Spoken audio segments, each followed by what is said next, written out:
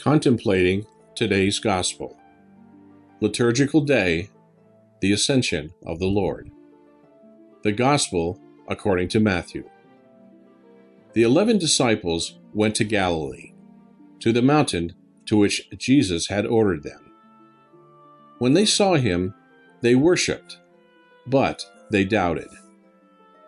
Then Jesus approached and said to them, All power in heaven and on earth has been given to me. Go, therefore, and make disciples of all nations, baptizing them in the name of the Father, and of the Son, and of the Holy Spirit, teaching them to observe all that I have commanded you. And behold, I am with you always, until the end of the age. Commentary by Father Josef Arquer from Trier, Germany.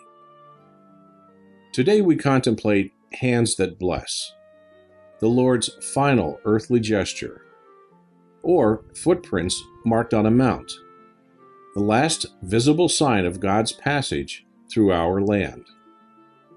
At times, that mount is depicted as a rock, and the imprint of his steps is not engraved on the earth, but on the rock.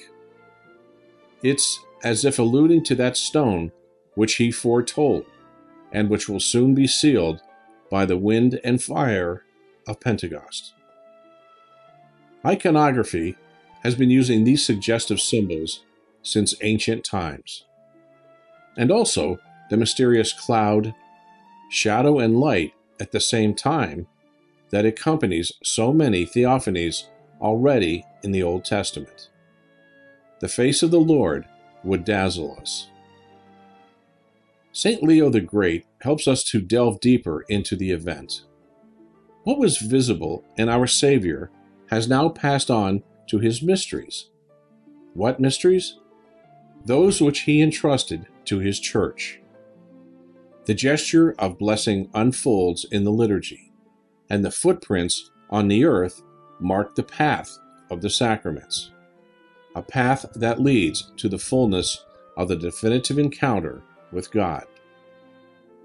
During those 40 days in which the Lord does not appear, but rather, as the exegetes tell us, lets himself be seen, the apostles will have had time to get used to their master's other way of being. Now, in this last encounter, amazement is renewed. The apostles discover that from this moment on, they will not only proclaim the word, but will also inspire life and health with the visible gesture and the audible word in baptism and in other sacraments. All power in heaven and on earth has been given to me. All authority. Go to all nations and teach them to obey everything, and he will be with them with His church, with us, always.